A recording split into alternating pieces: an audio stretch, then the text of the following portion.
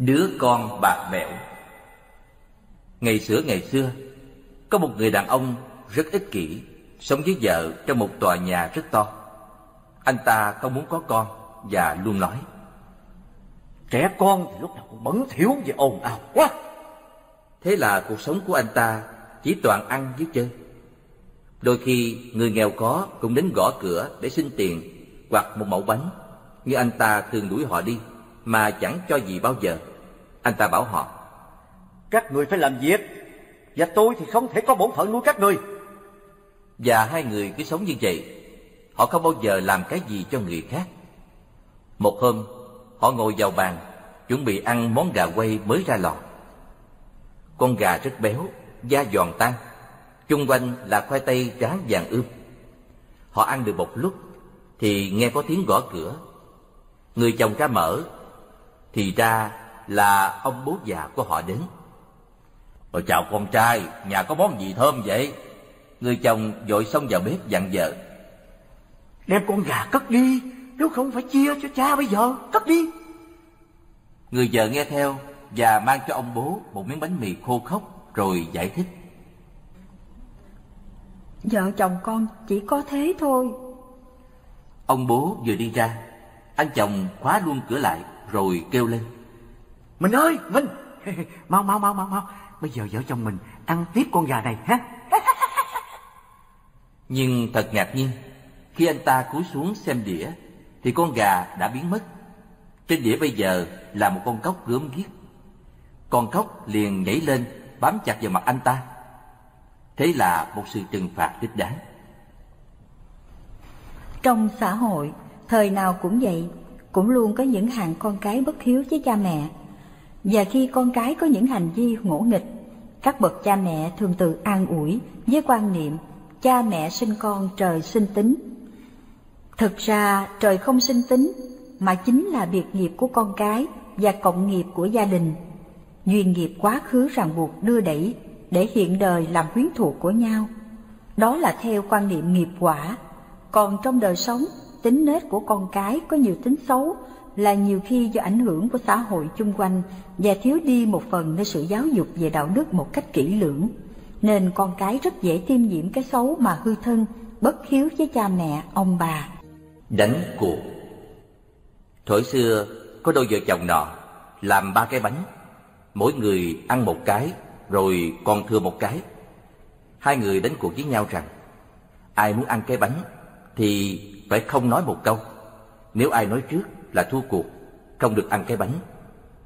Thế rồi cả ngày hai vợ chồng nín thinh, không nói một tiếng.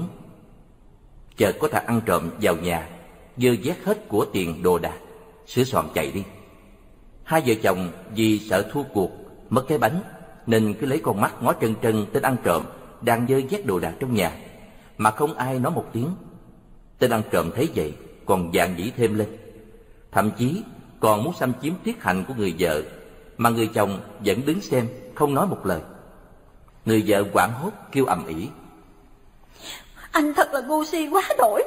Vì một miếng bánh mà để thằng ăn trộm làm nhục tôi quá đổi. Không mở miệng nói một lời. Người chồng bèn vỗ tay cười lớn. Em đã khai khẩu nói trước rồi nghe. Như vậy thì thua anh rồi phải không? Và bây giờ thì cái bánh này thuộc về anh thích quá. Câu chuyện này chúng ta đã nhận chân ra một điều là trong xã hội con người luôn chạy theo sự ham muốn và không lúc nào được thỏa lòng. Theo đuổi ham muốn cốt là để thỏa mãn nhưng nó lại luôn luôn đưa đến bất mãn vì những điều mong muốn của chúng ta không đạt được. Đôi khi, vì những ích kỷ nhỏ nhen mà chúng ta lại đánh mất đi những lợi ích lớn lao của pháp lành, và lúc nào cũng bị sự ham muốn trượt đuổi. Cũng chính vì vậy mà Đức Phật đã dạy, dù trốn ở tận gốc bể chân trời, ta vẫn cứ khổ đau. Dù có tìm quên trong thú vui nào, lạc thú ấy cũng là lạc thú của đau thương. Nếu chúng ta có thời gian ngồi quan sát lại bản chất của tâm mình, cái gì tạo ra rắc rối và chướng ngại trong đời sống, thì ta sẽ tìm ra được bản chất của đối tượng ham muốn, quán sâu vào nó để loại trừ nó ra khỏi tâm ta. chia phần. Ngày xưa, có một bác nông dân sống chỉ dựa vào trồng trọt trên một thửa ruộng thuê của chủ đất. Thửa ruộng nhỏ, chỉ dọn dẹn bằng căn lều của bác, nhưng được cái là đất rất tốt.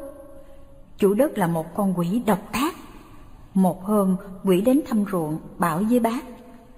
Này tên kia, tiền thuê đất mày chưa trả cho tao đủ từ nay trở đi khi chia quê lợi mày phải nộp cho tao mọi thứ gì mọc ở trên mặt đất này.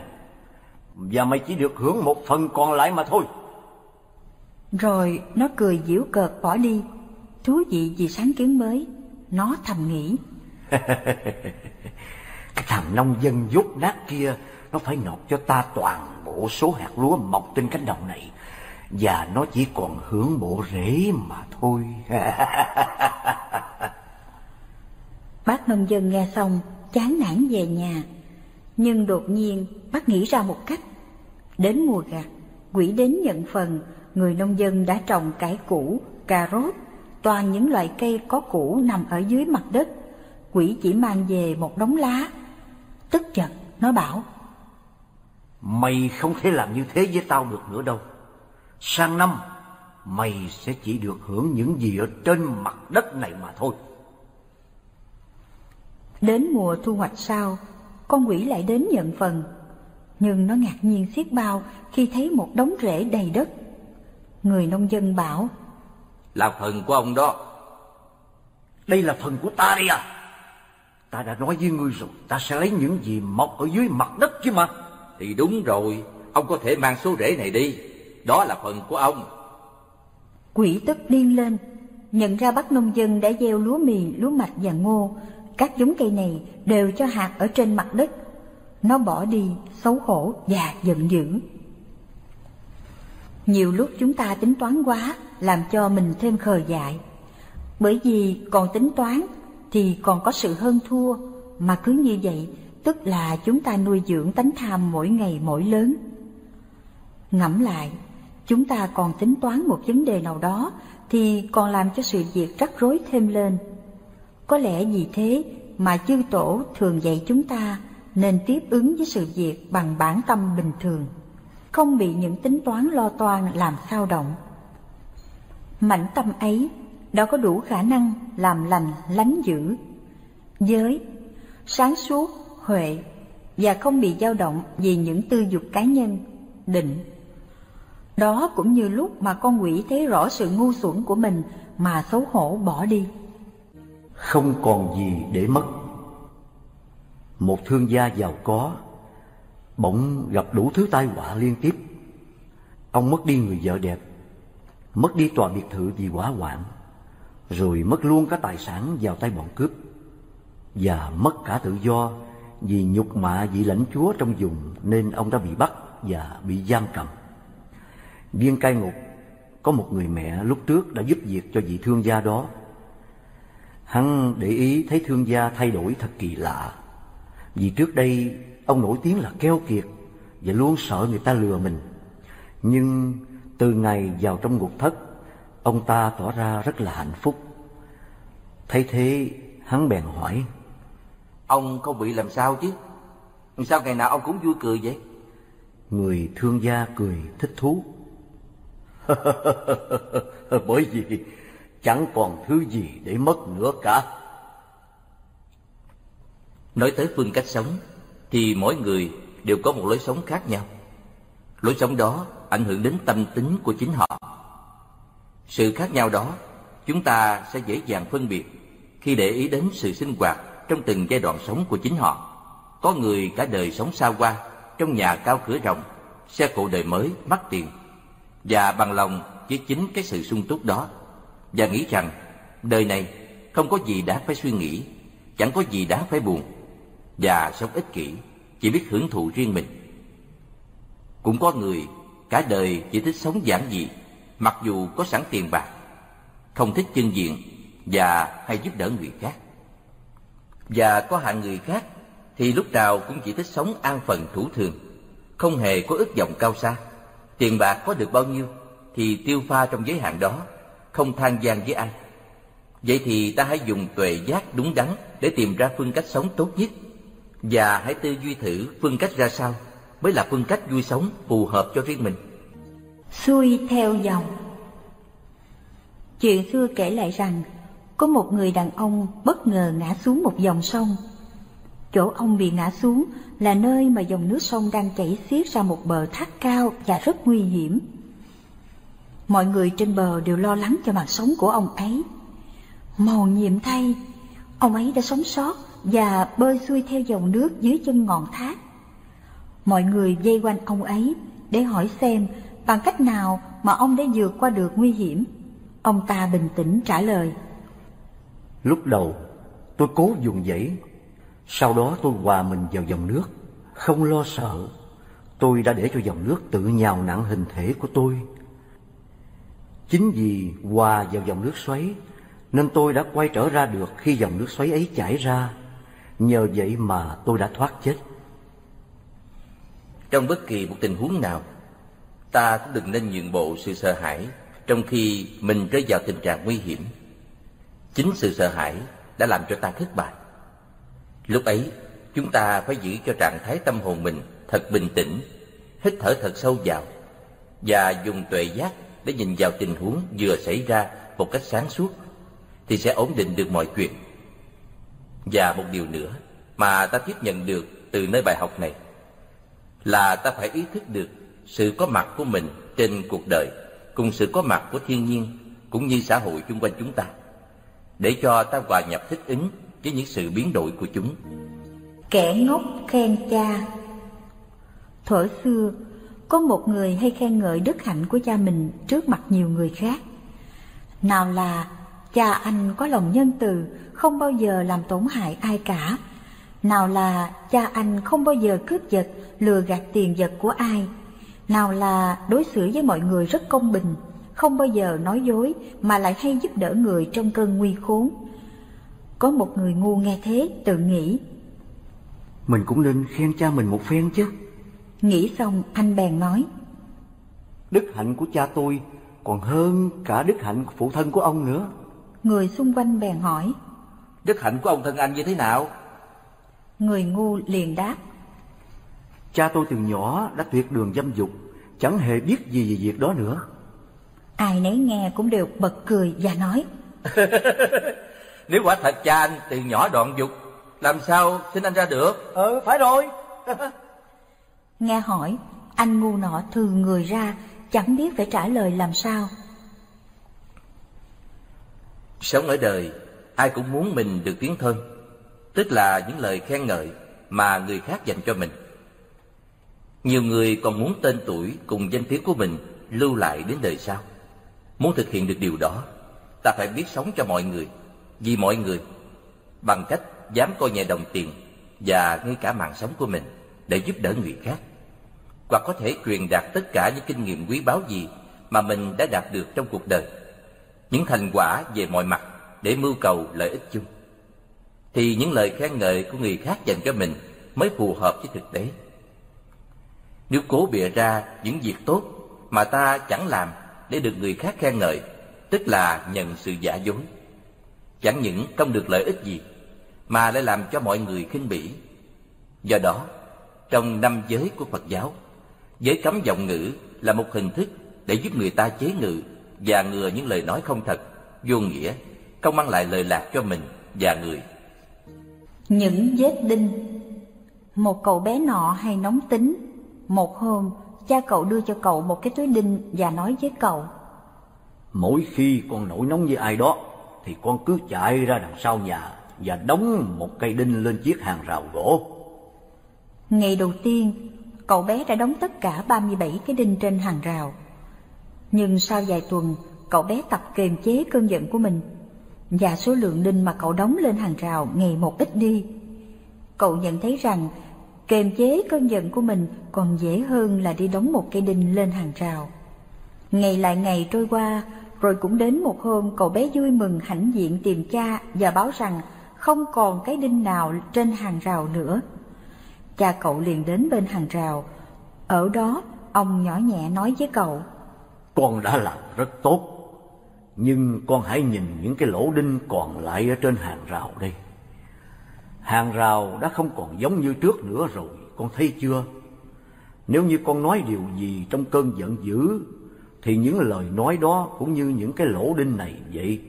Chúng để lại những vết thương khó lành trong lòng người khác. Cho dù sau đó con có nói bao nhiêu lần xin lỗi đi nữa, thì vết thương đó vẫn còn lại mãi mãi. Và con hãy luôn nhớ rằng, vết thương tinh thần còn đau đớn hơn cả vết thương của thể xác. Những người chung quanh con, bạn bè con, họ là những viên đá quý. Họ giúp cho con cười và giúp cho con mọi chuyện. Họ nghe con thở khi con gặp khó khăn, họ cổ vũ cho con và luôn sẵn sàng mở trái tim của họ ra với con. Con hãy nhớ lấy điều đó. Trong cuộc sống, sự tiếp nối, truyền thống giữa cha mẹ và con cái thật vô cùng quan trọng. Đặc biệt là ngay từ khi thời còn thơ ấu, cha mẹ phải tập cho con cái biết suy nghĩ về những hành động mà chúng đã làm. Vì những suy nghĩ và việc làm đó là tốt hay là không tốt và giúp cho chúng ý thức được sự có mặt của chúng trên cuộc đời này và đang tiếp nhận sự thương yêu của mọi người dành cho chúng.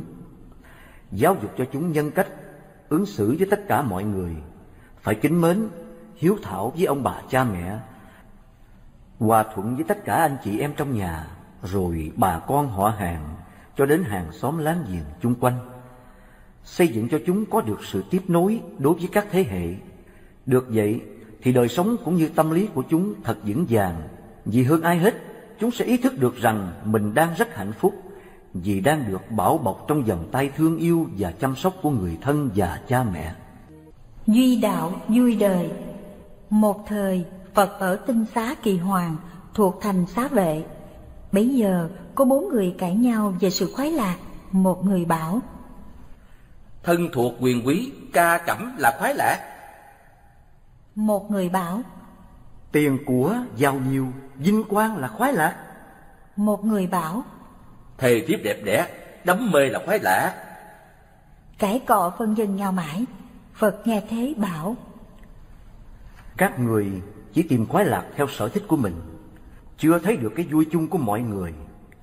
Mùa xuân sẽ điêu tàn, thân thuộc sẽ biệt ly, tiền của sinh ra lo sợ, thê thiếp quả sầu bi, và tất cả xoay quanh mình mà xâm phạm. Người chí nhân chỉ có một khoái lạc, duy đạo đó là niềm vui. Nhìn nhận sự tương quan trong sinh tồn, chí nhân khổ, cái khổ của người, vui với cái vui của muôn loài. Nên lợi người trước mình, cái vui đó thật là cái vui vô thượng. Các người hãy đánh đổi sự khoái lạc nhỏ hẹp cho cái vui vô thượng đó. Triết lý Phật giáo giúp chúng ta nhận thức được cuộc đời vốn là khổ và nguyên nhân đưa đến cái khổ ấy chính là do tham dục của mỗi chúng ta. Cũng vì do ta thiếu tuệ giác nên bị tham dục chi phối, không làm chủ được thân và tâm nên phải khổ. Và nếu muốn có được sự hạnh phúc an lạc ngay trong cuộc sống thì mọi người phải tự mình có thể khắc phục những khổ não ấy bằng cách là biết cách tiết chế dục vọng của mình. Khi tham dục bị chế ngự thì trí tuệ sẽ sáng suốt. Có trí tuệ sáng suốt thì chúng ta sẽ nhận chân được cái vô thường giả tạm của cuộc đời. Lúc ấy, chúng ta sẽ tinh tấn tu hành, cầu thoát sinh tử. Ba học trò Trong bất cứ một trường học nào trên thế giới, chúng ta đều có thể tìm thấy ba loại học trò khi phải làm bài toán cho thầy giáo. Loại một, tự mình loay quay, kiên nhẫn giải bài toán một mình. Loại hai, sau y bản chính của bạn, không cần phải tìm tòi thắc mắc chi cả. Loại ba, nhờ người khác hướng dẫn, biết đáp số, tập giải cho đến lúc tìm ra đáp số ấy. Thông thường, ba loại học trò trên đều có thể đạt đến số điểm giống nhau. Nhưng lúc đến trường thi, sẽ có ba kết quả khác nhau. Loại một, nhờ đã tự giải một mình, nên khi gặp lại đề cũ hoặc tương tự, trúng tủ liền. Loại hai, do sao chép sách của bạn, nên đến lúc phải xoay sở một mình, liền bí tịch, xơi luôn một cặp trứng ngỗng. Loại ba, vừa chép của bạn, vừa giải theo, nên năm thuở mười thiệt cũng có thể giải lấy một mình cuộc đời này há chẳng phải là một bài toán của mỗi chúng ta đó sao đức phật và các bậc độc giác là những người có thể tự giải bài toán một mình còn lại, các bậc thánh đệ tử của đức phật và chư vị tổ sư có thể ví như hàng giải bài toán loại thứ ba vì các ngài có trí lực và huệ lực nên vừa có thể học hỏi từ trong kinh điển và áp dụng vào đời sống tu tập của mình một cách nghiêm mật. Nên trước sau gì, đáp số của bài toán cũng sẽ tự hiển lộ. Còn chúng ta chuyên môn sau y lời của Phật và Tổ mà không chịu nghiên cứu và áp dụng phương thức ấy để tìm ra cách giải. Vì vậy, chúng ta có thể hiểu vì sao rồi chứ. Trong số đó, chúng ta nhiều khi diễn giải kinh rất lưu loát và thao thao bất tuyệt, có thể hay hơn cả những bậc đàn anh đi trước của mình. Nhưng khi những khó khăn tìm đến thì ta lại trốn tránh một cách hèn nhát, và những lúc có khổ đau trỗi dậy, chúng ta lại không thể vượt qua. Cúng dường được phước Xưa có một nhà giàu, người ở giúp việc rất đông, trân bảo vô lượng. Lúc bấy giờ, Phật cùng A Nan khất thực đi ngang qua nhà ấy. Chủ nhà cùng vợ con, cháu chắc đều hoan hỷ thỉnh Phật vào nhà. Đem giải quý lót đất, dùng đồ vật bằng vàng bạc chân cúng. Đức Phật dạy rằng Người này đời trước sinh ra trong một gia đình nghèo khó, phải hái rau mà ăn.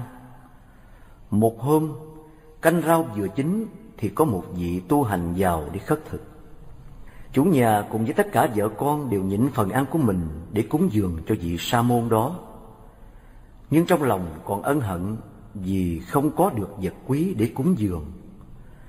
Do nhờ thiện niệm và cử chỉ cúng dường tốt đẹp kia mà cả gia đình họ đều được giàu có vô lượng, lại phát tâm trì giới thanh tịnh, gặp Phật để được nghe Pháp và đã chứng quả A-la-hán. Chúng ta đem vật thực cúng dường Tam Bảo, cầu giảng sinh Tây Phương cực lạc, cầu công đức vô lậu, không sinh, không diệt. Đó là cầu Pháp vô vi. Nếu như chúng ta bố thí tiền, lạy Phật, niệm Phật, lấy những công đức đó cầu cho gia đình được bình an, con cái thông minh đỗ đạt, làm ăn phát tài, đó là cầu phước hữu lậu, phước hiện tại. Thật ra, chỉ cần chúng ta phát tâm cúng dường bố thí mà không mong cầu thì phước báo cũng tự nhiên đến. Nếu như nó không đến trong đời này thì nó cũng đến trong đời sau. Như gia đình nọ trong truyện, Chí Thành phát tâm cúng dường cho một vị sa môn mà không mong cầu điều gì. Nhưng nhờ phước báo đó mà đời sau họ được giàu sang sung sướng. Cúng dường bố thí mà không khởi tâm mong cầu điều gì mới chính là cúng dường một cách cao thượng vậy. Con mèo nghi lễ Thời xa xưa, tại một ngôi chùa nọ, khi thầy trụ trì và các đệ tử bắt đầu ngồi tịnh tọa niệm Phật vào buổi tối, thì con mèo sống trong chùa gây ra tiếng ồn ào, khiến họ phải phân tâm. Thầy trụ trì ra lệnh cột con mèo lại trong giờ tịnh tọa. Nhiều năm sau, khi thầy trụ trì qua đời, con mèo vẫn tiếp tục bị cột trong giờ đại chúng tịnh tọa. Đến khi con mèo đó già chết, một con mèo khác lại được mang vào thiền viện và nó cũng bị cột lại trong giờ tịnh tọa vào buổi tối. Rồi đến nhiều thế kỷ sau, những người kế thừa ngôi chùa đó đã viết luận văn tốt nghiệp về nghi lễ tôn giáo của việc cột con mèo lại trong lúc tịnh tọa. Câu chuyện kể trên giống như cách phát triển những điều mê tín. Mới đầu có thể có những lý do đặc biệt trong một hoàn cảnh riêng nào đó. Lâu dần, việc đó được lặp đi lặp lại như một tập tục rồi thành một nghi thức. Họ làm việc đó vì họ không thấy có điều trở ngại, không mất gì và không nên làm. Nhiều người trong chúng ta đã sống giống như câu chuyện trên. Chúng ta làm cái này, cái kia, đập đi lặp lại mà thực sự không hiểu gì về ý nghĩa hay tầm quan trọng của nó. Câu chuyện còn nhắc nhở chúng ta phải luôn nhớ tới lời Phật dạy trong kinh Kamala thuộc Tăng Chi Bộ như sau. Như vậy, này các tỷ kheo, điều ta vừa mới nói với các người. Các tỷ kheo Các người đừng tin vì nghe nói lại. Đừng tin vì phong tục, Đừng tin vì nghe tin đồn, Đừng tin vì kinh điển truyền tụng, Đừng tin vì lý luận, Đừng tin vì công thức, Đừng tin vì có suy tư đầy đủ dữ kiện, Đừng tin vì có thẩm sát và chấp nhận lý thuyết, Đừng tin vì thấy thích hợp, Đừng tin vì Sa môn là thầy mình. Nhưng này các tỷ kheo, Khi nào các người tự biết rõ các pháp này là thiện Các pháp này không đáng chê. Các pháp này được người trí ca ngợi. Các pháp này nếu được thực hiện, chấp nhận Thì dẫn đến hạnh phúc an vui. Thời các thầy thí kheo Các người hãy đạt đến và an trú. Nhận người làm anh. Thổi xưa có một người nhà rất giàu có Cử chỉ luôn đúng đắn và lại thông minh. Vì thế kẻ xa người gần đều cảm phục ái mộ. Bây giờ có một người đến nhận người ấy làm anh mình, Thường thường qua lại một cách rất mật thiết. Người này nhận người giàu làm anh để làm chi vậy? Mục đích chỉ muốn lợi dụng tiền bạc. Sau đó, người nhà giàu kia sa sút khốn cùng, Đổ vỡ nợ nần. Người kia liền trở mặt Và nói thẳng với anh nhà giàu kia, Ngươi không phải là anh ta. Chuyện này chỉ dụ rằng có bọn người xấu ăn trộm kiến thức ngôn ngữ, phương pháp và nghi thức của Phật Pháp Đem ra làm giáo pháp của riêng họ. Nhưng hoàn toàn không thật tâm tin tưởng Mà chỉ muốn lợi dụng những điều ấy làm phương tiện để mưu sinh. Và nhiều lúc họ lại tỏ ra rất là đạo mạo để hòng che giấu những điều xấu của họ. Tuy nhiên, từ xưa tới giờ, tất cả những điều thuộc về chân lý thì luôn luôn đúng, nhưng do con người luôn làm sai lệch đi mà thôi. Vết sẹo Ngày xưa, khi còn bé, anh và tôi hay chơi trò cút bắt. Lần nọ tôi té ngã, máu ở đầu gối chảy ra rất nhiều. Anh xích xoa theo từng giọt nước mắt của tôi Luôn hứa sẽ che chở tôi suốt đời Không bao giờ để tôi đau nữa Lớn lên anh đi du học Và bỏ luôn ý định về nước Ngày mẹ anh mất Anh dẫn một cô gái da trắng Tóc vàng về chiều ta Tôi đứng nép sau bầu cửa Nhìn sang Bất chợt Vết sẹo nơi chân nhức buốt Cuộc sống thật sự không phải là một giấc mơ đẹp để người ta ao ước và chìm lãng vào nó, để rồi phải thất vọng khổ đau. Những phút giây trôi qua của một kiếp người luôn luôn có sự biến đổi sinh diệt. Tình yêu của ngày hôm qua không phải là của hôm nay, và cũng chưa chắc là của ngày mai nữa. Mọi diễn biến tâm lý luôn vận hành một cách liên tục trong cái bản chất tương đối của nó.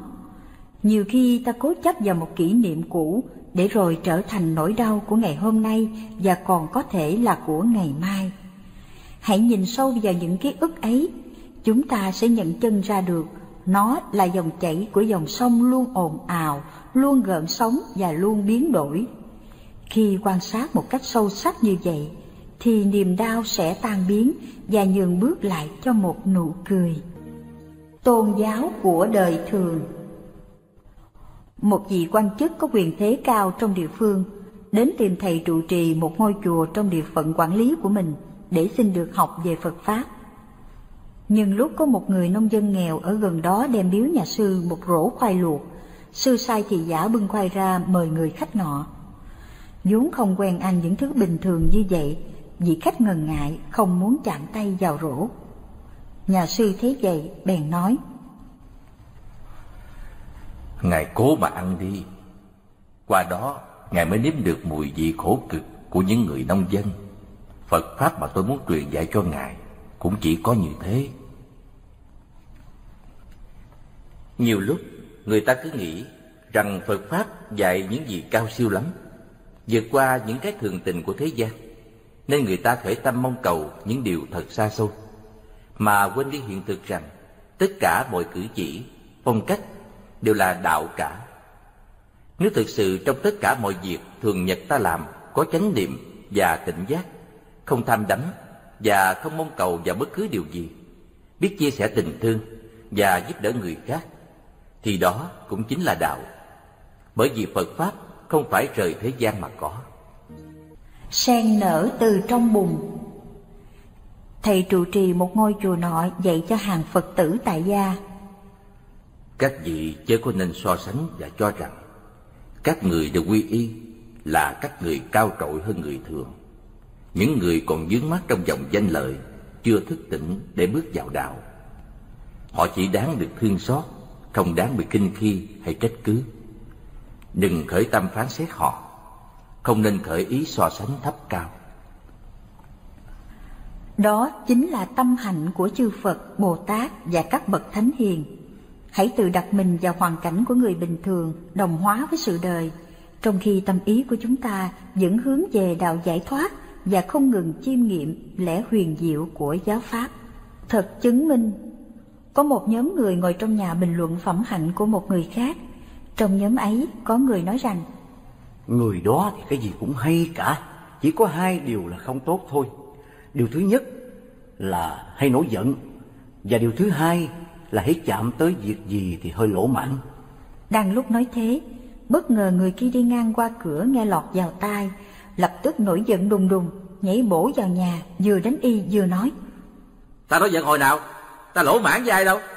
Bây giờ mọi người đều nói Cử động của ngươi hiện tại thì chẳng đủ chứng minh cho sự sân hận và lỗ mãn của ngươi đó sao? Đúng rồi. Ờ. Chuyện này ý muốn nói rằng có một hạng người có lỗi mà không chịu nhận, người khác đưa ra ý kiến để giải bày, chẳng những không hết lòng tiếp nhận, trở lại xấu hổ sân hận, tìm cách báo thù. Làm thế thì không chỉ trở ngại cho sự tiến bộ của mình, mà lại làm bộc lộ và phát triển tội ác xưa nay, chịu hậu quả bất lương nữa phân tâm nhị dụng. Có một vị thầy đến thăm nhà một phật tử nọ. Thế bà chủ nhà vừa thờ phật vừa thờ thần tài. Vị thầy hỏi bà thờ thần tài để làm gì vậy? Dạ con thờ để cầu được tiền tài. À thế con thờ phật. Dạ để tu hành và cầu mong giải thoát. Vị thầy nói ồ bà quả là người có tài phân tâm nhị dụng đó nghe. Thật vậy, trong cuộc sống đời thường, người ta luôn luôn khởi tâm mong cầu, tham lam, bắt cá hai tay. Vừa muốn ôm lợi danh, vừa tìm cầu giải thoát.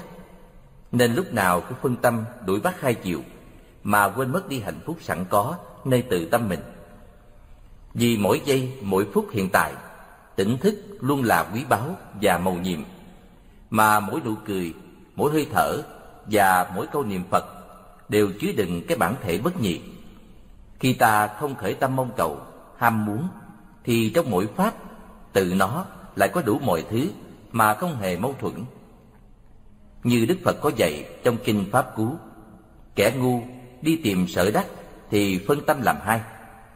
Vì vậy, ta cần phải trở về với giây phút hiện tại, vì quá khứ thì đã trôi qua còn tương lai thì chưa đến. Chúng ta cần phải sống hết sức chánh niệm trong tuệ giác của những giây phút hiện tại mà chúng ta đang có mặt. Vì nhỏ mất lớn Thổi xưa có một người cho người khác mượn năm đồng, Rất lâu mà không trả lại Chàng bèn đi đến nhà và đòi nợ Trên đường đi phải trải qua một con sông chàng phải đi qua đò và tốn ba đồng. Đến nhà người kia thì người kia lại đi vắng. Khi trở về, chàng lại phải tốn thêm ba đồng nữa. Đi đò qua lại hết sáu đồng. Làm như thế chỉ lú nhọc công mà không đi đến đâu cả. Và số tổn thất lại nhiều hơn số tiền đã cho mượn. Vì tranh cầu chút lợi, không tiếc làm bại hoại hành thanh cao của mình. Kết quả đôi khi thường không bù lại sự tổn thất. Hiện tại mang tiếng xấu, đời sau mắc quả báo chẳng lành. Hành động như thế thật là ngu si. Vì vậy, Đức Phật dạy chúng ta phải tu tập hạnh tùy hỷ để diệt trừ những tập khí ích kỷ, tham lam đã nằm sâu trong tâm trí chúng ta. Nếu chỉ thấy có lợi ích cho chính bản thân mình, thì chúng ta chỉ đạt được một chút hạnh phúc nhỏ nhoi, vì hạnh phúc đó được xây dựng từ lòng dị kỷ mà có. Lòng tùy hỷ thì luôn trái ngược với điều đó. Nên tùy hỷ là phương pháp tâm lý tuyệt diệu để trừ mọi chướng ngại, là một yếu tố sống hạnh phúc trong đời thường. Còn nếu chúng ta không tu tập hạnh tùy hỷ, không khoan dung với mọi người mà luôn tính lợi lạc cho mình, thì dù có thông minh, tài giỏi về thế Pháp hay Phật Pháp, chúng ta cũng không đạt được hạnh phúc hoặc bình an trong đời sống. Giết kẻ dẫn đường Thở xưa, có một đoàn thương gia dự định đến phương xa để tìm kế sinh sống. Đường đi phải trải qua một cánh rừng rộng, cả đoàn đều không biết đường. Mới bàn tính với nhau là mời một người đi theo chỉ lối. Rồi họ cùng nhau khởi cuộc hành trình. Đi được nửa đường, họ đến một cánh đồng bao la bát ngát và gặp một ngôi miếu thần. Theo tập quán nơi đó, đoàn phải có một người để tế mới đi qua khỏi được. Đoàn thương gia cùng nhau bàn luận và đều cho rằng trong những người bạn của chúng ta ai ai cũng đều là bà con thân thích, chỉ có người dẫn đường là người ngoài nên giết người này để cúng tế. Bàn tính xong xuôi, họ bèn đem người dẫn đường ra giết. Cúng tế xong, họ lên đường. Nhưng vì không có người dẫn đường nên cả bọn lạc lõng bơ vơ nơi cánh rừng bát ngát. Sau cùng, cả bọn đều bị chết ở giữa khoảng đường dài. Đời sống của con người thật quý giá, nhưng cũng quá đổi mong manh. Hôm qua còn khỏe mạnh vui sống, nhưng ngày mai sẽ ra sao? Thì vẫn là điều bí ẩn của nhân sinh muôn thuở. Người ta chỉ chợt chạnh lòng tê tái với một cảm nhận mong manh khi vô thường xảy ra với mọi người chung quanh, mà chẳng mấy ai lưu tâm đến điều ấy có thể xảy đến với mình. Theo Thế Tôn, thì mạng người chỉ tồn tại trong hơi thở. Một khi hơi thở ra mà không thở vào là kết thúc một đời người. Quán niệm đối diện với sự thật của chính tự thân về cái chết sẽ đến với mình bất cứ lúc nào là điều cần thiết mà mỗi người phải thực hành. Chính cảm nhận được sự mong manh tạm bợ, nay còn, mai mất của kiếp người sẽ giúp cho ta thêm trân quý hơn cuộc sống. Những thành bại hơn thua, được mất, tranh đoạt hận thù sẽ chẳng còn có giá trị nếu như gần kề với cái chết, nhận thức án tử đang lơ lửng quanh ta. Cuộc sống xung quanh chúng ta luôn luôn biến động, đầy dẫy những tai nạn rủi ro. Ý thức rõ ràng về cái chết có thể đến với con người bất cứ lúc nào sẽ giúp cho con người sống trọn vẹn với giây phút hiện tại, bớt đi tham ái, hỷ xả, tha thứ và luôn nghĩ đến mọi người, đồng thời tinh cần thực hành các pháp thiện. Nghĩ đến vô thường, thần chết đang rình rập là một cách thể kiềm sự thật của đời sống. Cuộc sống sẽ bớt khổ đau và con người sẽ thương nhau hơn nếu như mọi người biết suy niệm về cái chết. Những chiếc bánh nhỏ Ngày xưa, có một chàng nông dân tham gia đội quân của những người nghèo khổ, nổi dậy chống lại những lãnh chúa độc ác. Vì chàng gan gốc và thông minh nên chẳng mấy lúc được tôn lên làm thủ lĩnh. Một hôm, chàng nông dân đó tấn công vào một cái thành mà ở đó có nhiều lãnh chúa đang tập trung quân để chống lại quân nổi dậy. Thủ lĩnh quân nổi dậy bố trí người chặn tất cả các nẻo đường đi vào thành và cuộc bao vây kéo dài và chẳng mấy chốc trong thành phố đã cạn kiệt lương thực. Dân chúng và binh lính gầy rộc đi, nhưng các lãnh chúa thì vẫn được ăn ngon vì chúng giữ cho bản thân mình những gì chúng dự trữ được. Thủ lĩnh nghĩa quân bèn quyết định tấn công vào thành. Nhưng trước đó, chàng khao quân để họ có được sức khỏe. Ngày ấy, trong những thức ăn ngon do bà con nông dân ban tặng, có những chiếc bánh nhỏ kẹp thịt rất thơm. Thủ lĩnh nhân hậu thầm nghĩ, dân chúng và binh lính trong thành sắp chết đói, trong khi quân đội của mình thì lại được ăn no. Chàng ra lệnh móc vào mỗi mũi tên hai cái bánh nhân thịt và yêu cầu mỗi người lính phải bắn ba mũi tên vào trong thành. Những người ở trong thành thấy những mũi tên có bánh đó bay đến với họ Họ không còn tin vào chính mắt mình nữa. Họ lao ra lấy những chiếc bánh và họ hiểu rằng đội quân đang bao vây thành chịu sự chỉ huy của một thủ lĩnh thật là nhân hậu, độ lượng, trong khi các lãnh chúa cứ để mặc cho họ chết đói, chẳng giúp gì cho họ được. Thế là họ mở cửa thành cho thủ lĩnh và nghĩa quân tràn vào. Những người này bắt giam các lãnh chúa và đây có lẽ là lần duy nhất người ta thắng trận nhờ vào những chiếc bánh nhỏ như vậy. Người ta thường nói, trong tận cùng đau khổ mới biết thương những người trong tận cùng khổ đau. Điều ấy cũng đúng. Như anh chàng thủ lĩnh của khởi nghĩa nọ đã cứu đói cho những người nông dân, và đó là yếu tố rất quan trọng quyết định sự thành công của anh ta. Trong những lúc gian nguy nhất, cũng là lúc người ta dễ mở tấm lòng ra với nhau hơn. Đó cũng là một quan niệm sống rất gần với đạo Phật. Chàng thủ lĩnh này không phải là người học Phật. Nếu như anh ta là người học Phật, thì tâm từ sẽ được nuôi dưỡng lớn hơn và sẽ là người làm được rất nhiều lợi ích thiết thực cho nhân dân quần chúng. Người trí Bà Visakha mặt đầy nước mắt vì đứa cháu nội mới chết. Đức Phật dạy Ai có tới năm mươi người thân sẽ có năm mươi nỗi lo buồn. Còn ai có một trăm người thân sẽ có một trăm nỗi lo buồn. Chỉ có ai không chấp thủ đây là ta, đây là của ta thì mới không có khổ. Không tham đắm sẽ không ưu não, xa lìa được ngũ dục, chỉ cầu vui chánh pháp thì sẽ tiến tới sự an lạc niết bàn. Cho đến lúc sức mòn lực kiệt thì cuộc đời vô thường sẽ đòi lại tất cả những cái có của chúng ta. Phần ta chỉ còn trơ trọi hai bàn tay trắng. Những phiền não của con người nơi cõi ta bà này thì sâu vô tận, nên chúng ta cần phải hạ quyết tâm diệt trừ nó. Vẫn biết là mọi người chúng ta đang ở trong biển khổ vô biên, bao nhiêu con người đang rên xiết trong cảnh dầu sôi lửa bỏng. Biết bao người đã bị đói rét hành hạ, đau khóc thảm thương. Vì thế mà chúng ta phải học tập theo tinh thần lợi tha của Đức Quán Thế Âm Bồ Tát. Chèo thuyền từ cứu giúp mọi người để làm dơi bớt một phần nào những đau khổ của kiếp phù sinh. Chúng ta là Phật tử thì cần phải dũng mãnh tinh tấn, hướng về chân trời lý tưởng của Phật giáo để làm lợi lạc cho người và phần nào góp phần dựng xây xã hội ngày càng thêm tốt đẹp. Một ngọn lửa Một ngọn lửa khổng lồ bừng lên trong rừng rậm. Các con vật tập hợp thành đàn phía bên kia hồ nước và nhìn chăm chăm vào đám cháy. Một con chim nhỏ dường như biết trước những gì sẽ tiếp diễn, ngậm một hớp nước trong chiếc mỏ nhỏ xíu của nó và tưới vào đám lửa. Nó quay lại mang một hớp nước khác trong mỏ và tưới xuống.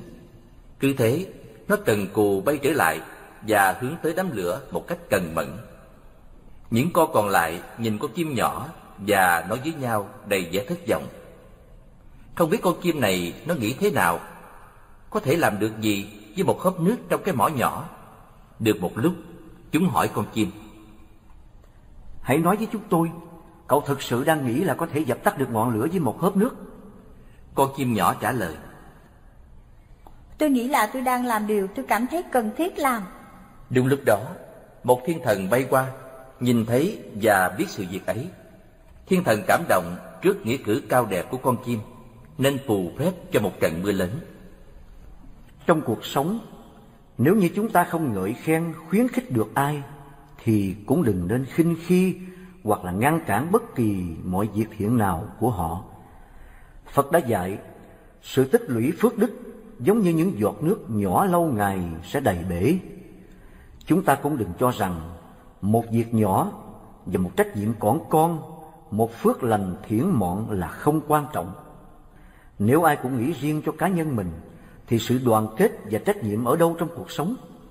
Một điều lành bao giờ cũng đem lại sự bình yên, cho dù là rất nhỏ, nhưng cũng gây được sự cảm kích ở lòng người và cùng với sự siêu nhiên linh ứng.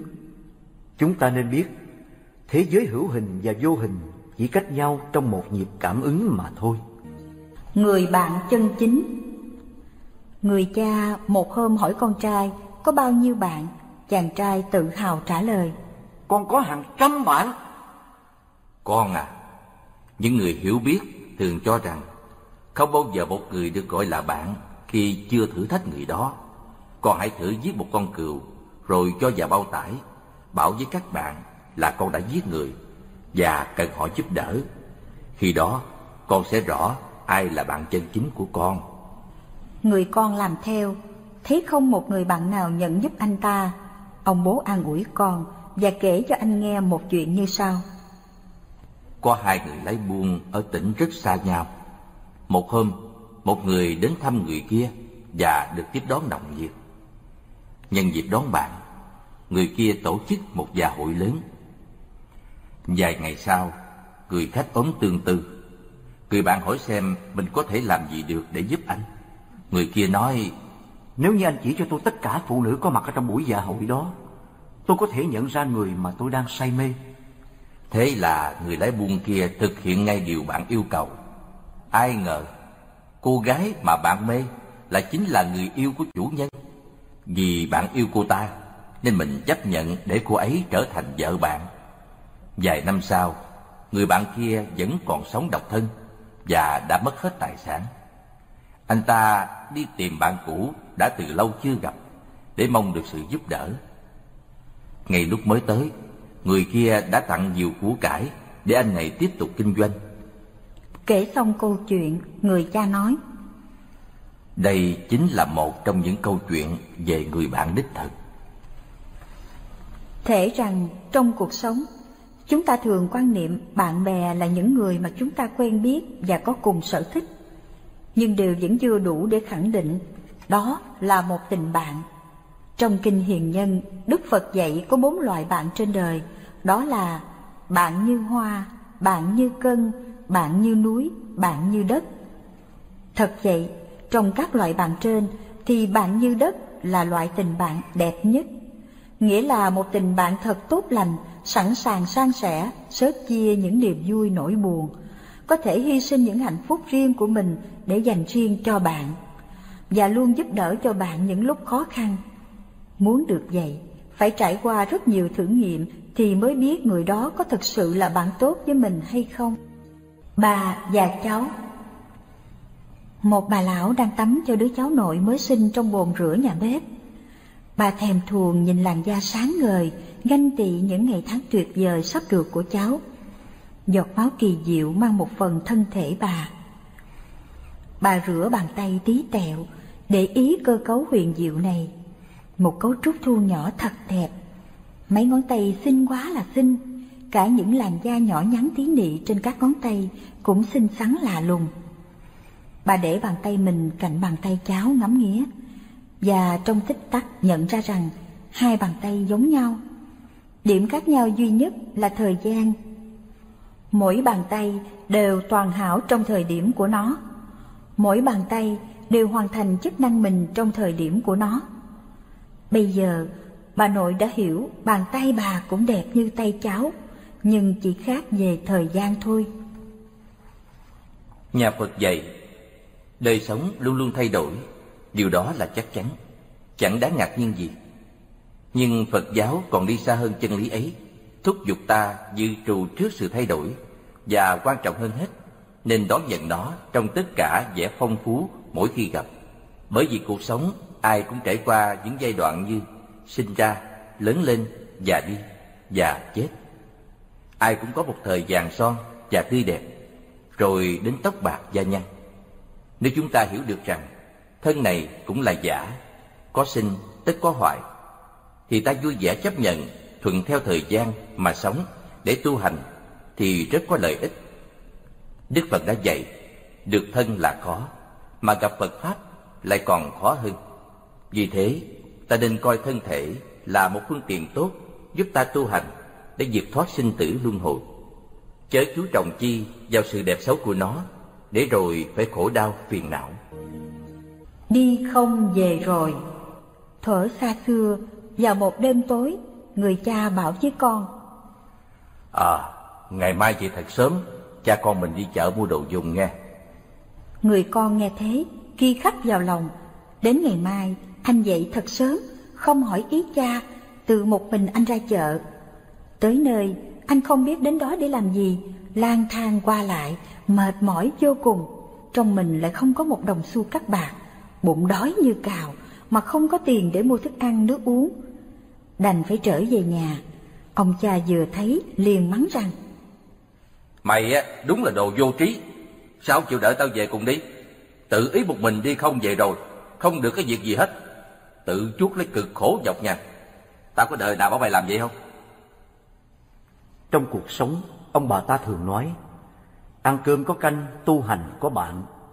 Và trong câu chuyện này, chúng ta thử liên tưởng đến người tu trì Phật Pháp là phải biết nương gần thầy hiền hay bạn lành để được sớm tối học hỏi kinh nghiệm tu tập từ các vị ấy. Và sống cùng bạn cùng thân, ta sẽ được năng lực của tăng thân che chở và bảo hộ, thì con đường tâm linh của chúng ta mới mau tiến bộ. Không nên tự ý là mình thông minh, tài giỏi, rồi tự mình sống tách biệt đại chúng mà tu hành, thì sẽ gặp rất nhiều chướng ngại, chướng duyên và sẽ làm cho ta thối thất tâm bồ đề mà xa vào sự cám dỗ của đời sống thế tục, rồi tự đánh mất đi chính bản thân của mình. Lúc đó thì khó mà cứu vãn được.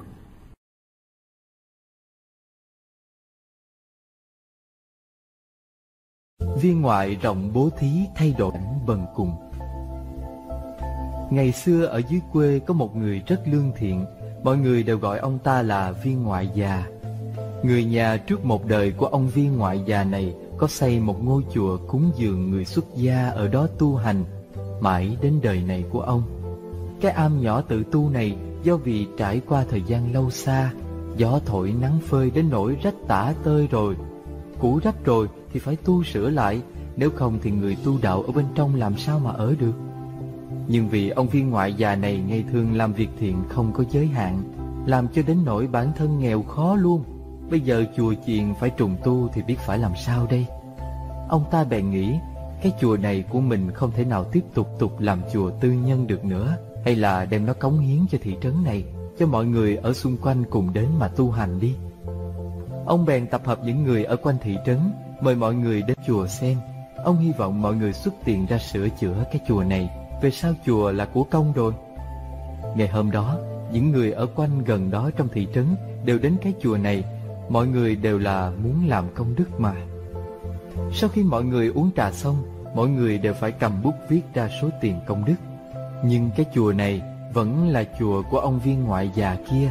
Mọi người lịch sự khách sáo nên vẫn mời ông ta ký viết một bút trước tiên. Ông viết xong trước rồi thì đến mọi người viết. Vị sư trụ trì đem sổ công đức ra cùng cùng kính kính mời ông viên ngoại già viết trước. Ông ta cầm lấy bút, vừa viết thì viết ngay chữ một trăm lượng. Trong lòng ông là muốn mọi người bỏ tiền ra vì bản thân ông đã hết tiền rồi mà, còn viết cái gì nữa. Thế nhưng trong tình cảnh này không còn tiền lại bị ép phải viết. Ông vốn nghĩ chỉ viết một lượng là được rồi, nhưng có thể do làm việc thiện quen rồi. Lúc bình thường thì hay viết trăm lượng ngàn lượng, cho nên vừa viết ra thì viết ngay là một trăm lượng. Thật là nghèo đến thế nào cũng khó sửa được thói nết của nhà giàu xưa. Vị trụ trì vừa thấy thế thì rất hoan hỉ, nghĩ rằng cái chùa này chỉ là tu bổ sửa chữa thôi mà, làm gì mà cần đến cả một trăm lượng, chỉ cần khoảng sáu bảy chục lượng là đủ rồi. Nếu có một trăm lượng thì muốn dỡ bỏ xây cất lại chùa mới cũng được luôn đó chứ. Nghĩ rồi bèn nói, lão viên ngoại đã viết ra một trăm lượng đủ rồi, quý vị đều không cần lấy tiền ra nữa đâu. Việc này khiến cho những người định bỏ tiền ra đều hoan hỉ vui vẻ. Ông viên ngoại thực chất là không còn tiền nữa, ngay cả ăn cơm hàng ngày cũng là vấn đề nan giải, thì lấy đâu ra một trăm lượng bạc đây? Nhưng người giàu sang thì vẫn cứ là người giàu sang, đây giống như tục ngữ nói câu, thuyền bị rách nát rồi thì vẫn còn ba ngàn cây đinh. Là ý nói người giàu sang tuy là nghèo khó giống như chiếc thuyền rách nát rồi, nhưng đinh ở trên thuyền vẫn còn ba cây nữa. Ông viên ngoại già này đúng là đã nghèo cùng rồi, nhưng một trăm lượng bạc cũng là có đấy, sao có được chứ? Thì do ông đem căn nhà của chính mình ở ra bán đi, đương nhiên là được còn hơn một trăm lượng nữa. Nhà cửa bán mất rồi, ông bán lấy một trăm lượng để sửa chùa. Nhưng lúc này ông viên ngoại mới nghĩ đến sự tình đã trở nên nghiêm trọng rồi. Nhà cửa bán mất thì bản thân mình ở đâu bây giờ? Ông viên ngoại này không còn nơi nào để trú thân nữa, trở thành người bần cùng khốn khổ không nơi nương tựa. Thật là nghèo đến nỗi không có cơm ăn, cùng quẩn đến nỗi không có nhà ở. Thầy trụ trì của ngôi chùa biết được sự việc này, bèn nói với ông ta.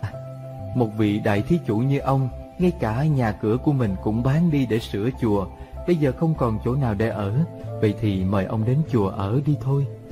Lão viên ngoại nói Tôi làm công đức mà Sao có thể đến chùa ở được chứ? Tôi không có tư cách để ở.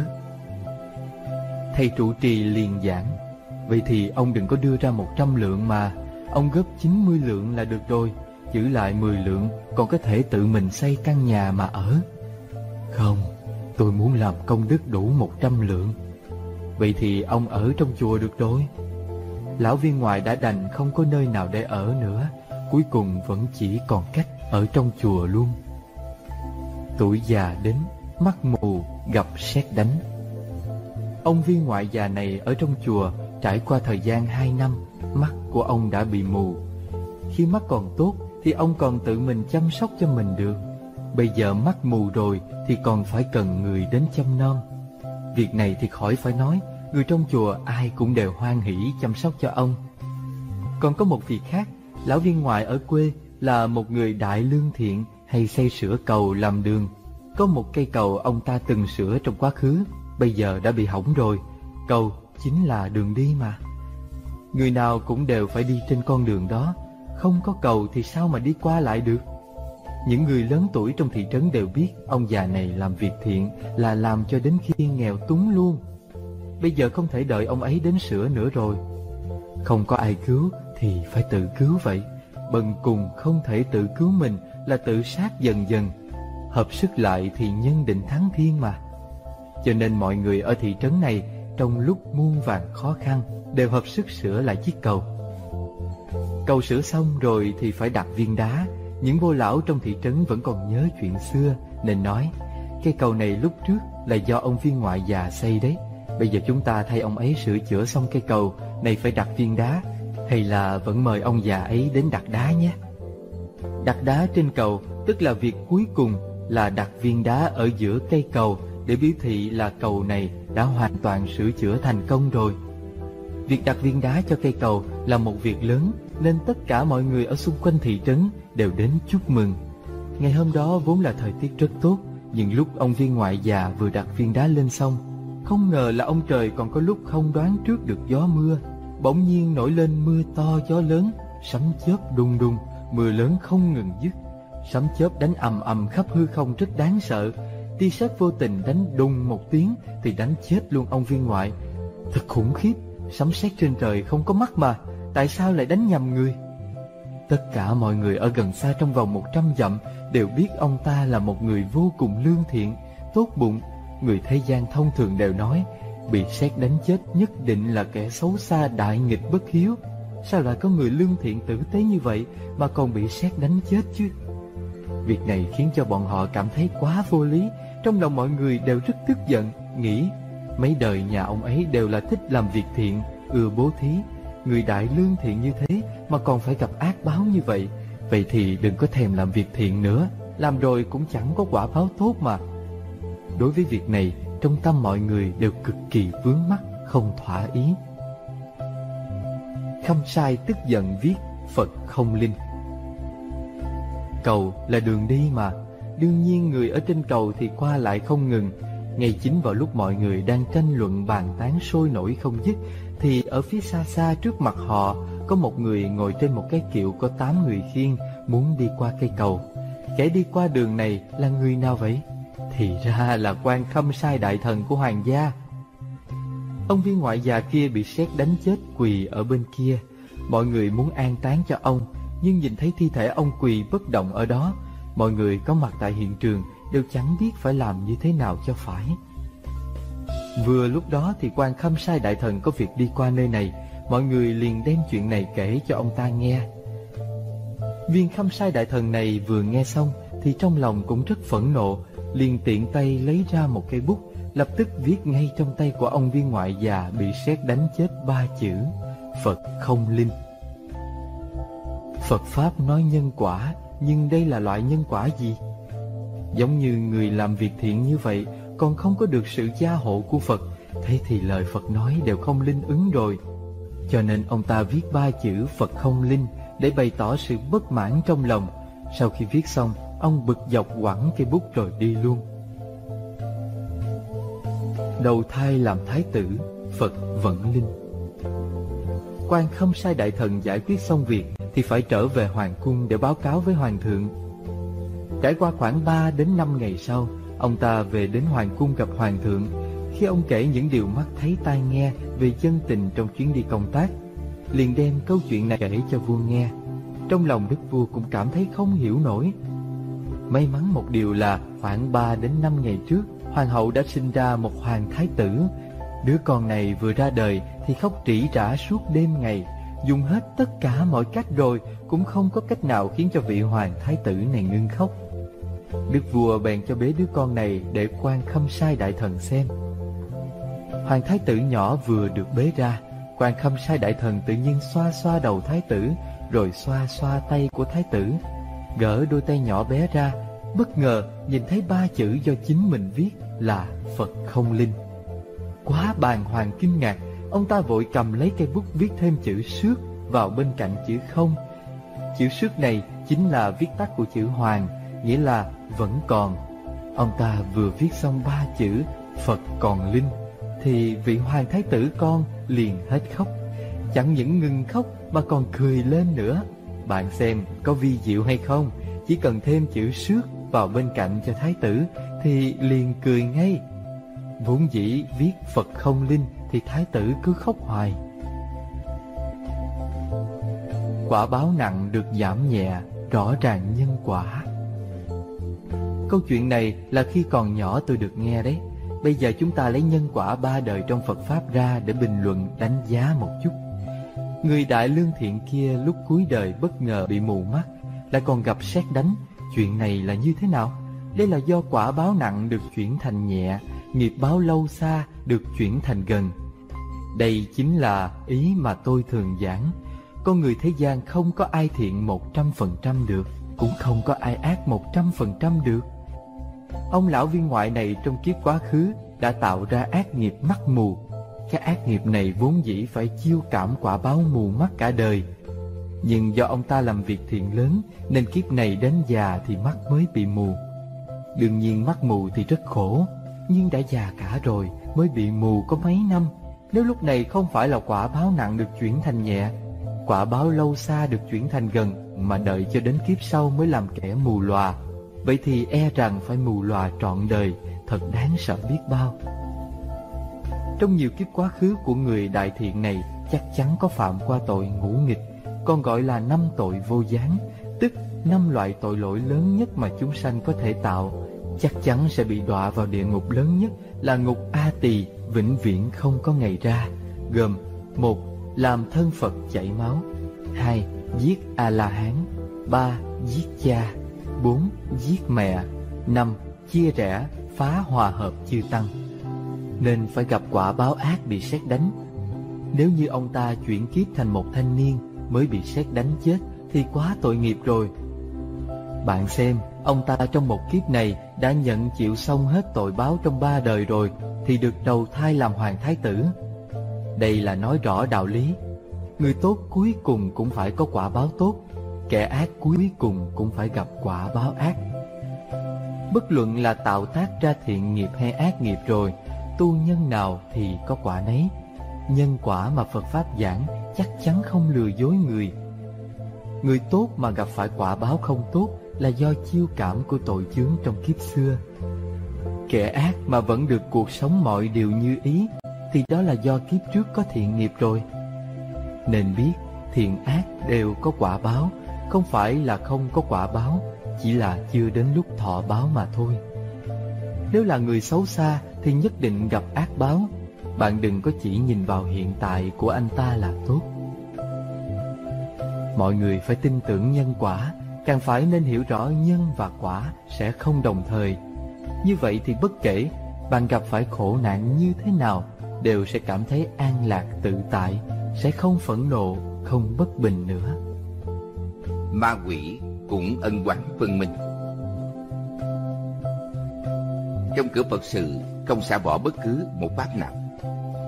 Người tiếp tục tu thiện được quả báo thiện có khi một việc thiện, chỉ có thể được một quả báo. Hai việc thiện được hai quả báo. Nếu muốn một loại nhân thiện, có thể được mười loại quả báo thiện. Mười nhân thiện, có thể được trăm quả báo thiện. Vậy thì phải dùng lương tâm mà làm việc thiện. Như thế công đức mới lớn lao được. Đương nhiên, Đó cũng phải gặp được một loại nhân duyên nào đó. Nếu không có cái duyên thù thắng đó, Thì bạn muốn làm một việc thiện Mà mong đạt được trăm loại công đức Thì cũng không thể có được đâu. Xem kinh lại Phật Bị quán quỷ quấy nhiễu.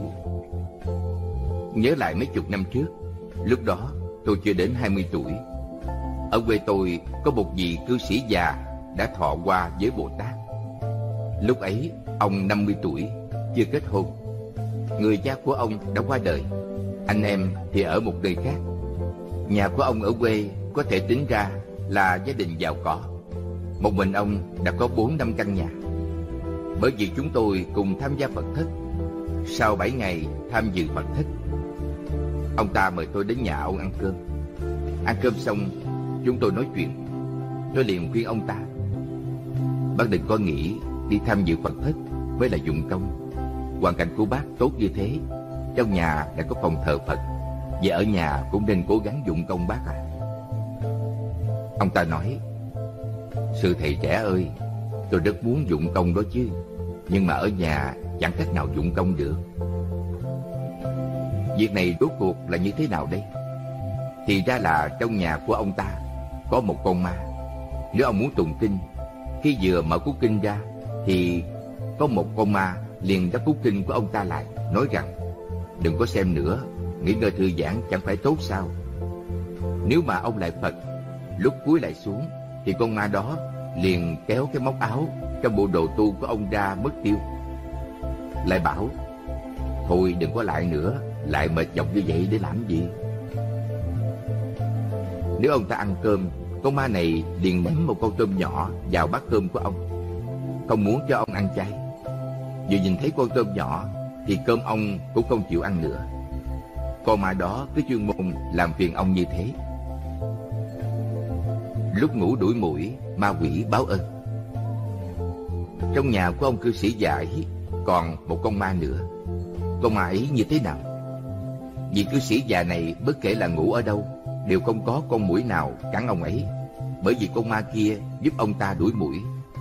Cho nên từ hồi nào đến giờ, Ông không cần dùng đến mùng màng gì cả. Ông ta đem hai chuyện này ra hỏi tôi. Tôi đáp, Rất rõ ràng là hai con ma này, Một con thì đến báo thù, Còn con kia thì đến báo ơn đó. Bắt lại Phật xem kinh, Nó liền đến phá rối. Đây chẳng phải là quán quỷ sao? Khi bác ngủ thì đến đuổi mũi giúp. Để đương nhiên là đến báo ơn rồi. Bác hỏi tôi việc này Chỉ bằng đi hỏi chúng nó đi. Tôi chỉ bày cho ông ta như vậy, Đến tối, Ông ta quả thật là hỏi hai con ma. Ông ta cũng vì chuyện này Mà đặc biệt mời tôi đến nhà. Buổi tối, tôi ở trong phòng thờ Phật xem kinh với ông ấy. Bàn Phật ở giữa, Chúng tôi hai người ngồi hai bên xem kinh. Đang lúc xem, Ông ta hỏi tôi, Tiểu sư phụ này Thầy có thấy con ma đó không vậy? Tôi nói, Đâu có ma nào đâu. Con ma đó không vào đây, Nó đang đứng ở bên cửa đó. Sao nó không vào đây? Tôi không hiểu tại sao hôm nay nó không vào. Ngày thường, Nếu ông cư sĩ già xem kinh, Thì con ma đó liền ở bên cạnh bàn nhìn ông. Hôm đó, Tôi ở trong phòng thờ Phật, Thì ma không có vào. Tôi ở đó đến mấy ngày. Buổi tối con ma đó Bèn đến phòng của bác cư sĩ nói, Ông bảo cái thầy trẻ kia đi đi. Lão cư sĩ nói, Trời tuyết rơi to như thế này, Sao bảo người ta đi về được? Thầy ấy ngủ ở phòng bên kia đó, Ngươi tự mà đi kêu thầy ấy đi đi. Con ma nói, Cho con đi, Ông đi kêu thầy đó đi đi. Lão cư sĩ hỏi, Tại sao ngươi không đi? Con ma đáp Tôi không dám đi đâu. Nếu tôi dám đi qua đó, Thì đã sớm đã tránh cho thầy ấy chạy mất rồi. Bảo ân báo quán, hỏi nguyên nhân. Ông ta hỏi con ma bảo quán, Tại sao khi ta xem kinh Thì ngươi đến cản trở? Quán quỷ đáp, Nhiều kiếp về trước, Trong lúc tôi tu hành, Vừa xem kinh Đại Phật, Thì ông cũng quấy nhiễu tôi như thế. Tôi muốn xuất gia, Thì ông chướng ngại làm cho tôi không có cách nào xuất gia được. Cho nên tội nghiệp của tôi không thể tiêu trừ, việc sinh tử không thể giải thoát. Đến bây giờ còn phải làm quỷ. Đương nhiên là tôi phải đến báo thù ông. Tôi bảo với ông cư sĩ già, Đã đành là báo thù, Vậy thì quán thù Giờ cứ nên quá giải, Chứ không nên kết thêm. Ông nên chân thành xin lỗi nó, Làm nhiều công đức thay cho nó, Siêu độ cho nó. Trong quá khứ đã làm trở ngại nó, Không thể nào trong quán lại kết thêm quán nữa. Cố gắng mà quá giải đi. Còn con ma kia, Giúp ông ta đuổi mũi Là việc như thế nào vậy? Chuyện nói đến thì rất trông dài Có một kiếp trước, Có một lần ông ta ra ngoài có việc. Trong người đem 30 đồng bạc. Lúc đó 30 đồng bạc rất có giá trị, Là một khoản tiền rất lớn. Ông ta đi qua một nơi nọ, Nhìn thấy một cặp mẹ chồng và nàng dâu Đang khóc lóc rất thảm thương trong nhà. Ông bèn khởi lên tâm đồng cảm, Thương xót họ. Bèn đi vào trong nhà, hỏi hai người họ, Tại sao hai người khóc lóc đau đớn như vậy? Bà mẹ chồng đáp, Con trai tôi đi xa nhà hơn 10 năm rồi Vậy không có tin tức gì cả. Cô không biết là còn sống hay đã chết. Tôi và con dâu ở nhà này không đủ sống. Ngày mai con dâu này của tôi Phải ra đi tái giá với người khác rồi. Cô con dâu hiếu thảo này Cũng không nỡ lòng dứt bỏ mẹ chồng Một thân một mình. Nhưng nếu không đi Thì cuộc sống lại rất khốn khó, gian nan. Cô ta hy vọng mình tái hôn với người khác Để có tiền mà nuôi dưỡng mẹ chồng. Bà mẹ chồng này nói tiếp Thằng ôi Có tiền để nuôi dưỡng tôi Thì tôi cũng không còn con dâu nữa. Nói đoạn Mẹ chồng và nàng dâu Lại ôm đầu khóc lóc đau khổ.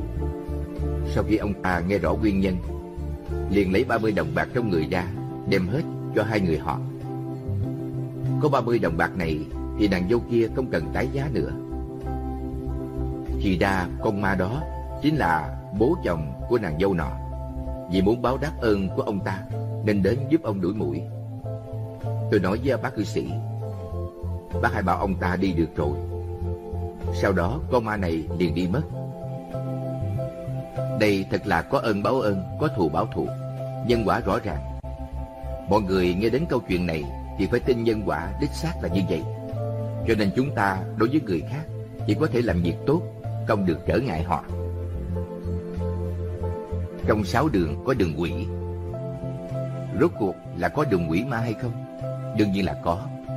Phật Pháp của chúng ta giảng trong sáu đường luân hồi Có đường quỷ mà Tôi thấy ở quê tôi Người ta nói chuyện về quỷ ma. Nhìn thấy ma quỷ, gặp ma quỷ Đây là việc hết sức bình thường. Còn có người già Nghe được tiếng quỷ gọi Nói là ở một nơi nào đó. Ngày hôm đó vào giờ nào Chắc chắn phải có người chết. Quỷ ma gọi ba bốn ngày sau Dân Cái đề đó, cái hẻm đó Quả đúng có người chết thật. Những chuyện như thế rất bình thường. Lúc nhàn rỗi nói chuyện Người ta đều nói đến những chuyện này. Đây hoàn toàn là sự thật. Giảng đến những điều này Là nhân quả của người thế gian. Một việc thiện thì cả một quả thiện. Người thế gian không kể là làm việc thiện gì. Cái quả báo ấy vừa qua Thì không còn gì nữa. Đây gọi là nhân quả hữu lậu. Tức là loại nhân quả có thể nhìn thấy được, rò rỉ ra ngoài, lòi ra ngoài thì gọi là hữu lậu. Ở đây chuyển sang Phật Pháp của chúng ta. Nói nhân quả trong Phật Pháp thì Phật Pháp tu một nhân có thể gieo trồng dạng đức. Tu cái nhân gì mà có thể trồng dạng đức? Mọi người hãy đến mà niệm Phật, A-di-đà Phật là hồng danh dạng đức. Tôi thường đưa ra ví dụ giống như nhiều loại vitamin. Bạn ăn vào nhiều loại vitamin thì trong người thiếu chất dinh dưỡng nào đều được bổ sung hết. Niệm thánh hiệu Phật Di Đà thì bạn có tội chướng sẽ tiêu trừ tội chướng. Không có phước huệ thì được tăng phước huệ, có sinh tử thì được hết sinh tử, có phát tâm Bồ đề thì được thành Phật đạo rộng độ chúng sanh. Đây là cái việc thiện mà một nhân trồng được dạng đức. Hỏi các vị Bồ Tát à? Có nhân duyên gặp được loại việc thiện tối cao này, kiểu gì cũng phải nỗ lực, tinh tấn mà tu trì phải biết nắm bắt lấy. Ở trên tôi nói đến Pháp thế gian, đích xác là việc có thật. Tôi nói lời này trừ phi là người bài bác nhân quả thông thường ở thế gian. Họ sẽ nói, làm gì mà có ma chứ, người chết đi rồi thì hết, thì diệt mất rồi. Đó là kẻ tà tri tà kiến, chúng ta đừng có nói với họ làm gì. Họ nói không có ma, thì không có ma thật ư. Họ nói sẽ có nhân quả, thì không có nhân quả ư. Không phải đâu. nhân quả bất kể là bạn tin hay không tin thì vẫn có. Xin chúc phúc cho mọi người, đạo nghiệp tinh tấn, nhưng thành Phật đạo, giảng sanh Tây Phương. Hoàng đã thiết niệm Phật sanh Tây. Tôi thường tặng cho tín chúng hai câu nói, niệm Phật không chướng ngại công việc, làm việc không quên niệm Phật. Niệm Phật sẽ không chướng ngại bạn làm việc đâu.